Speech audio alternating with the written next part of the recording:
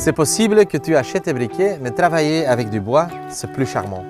On commence avec le petit bois et après, ça devient charbon. Après une demi-heure à peu près, le barbecue est prêt à utiliser.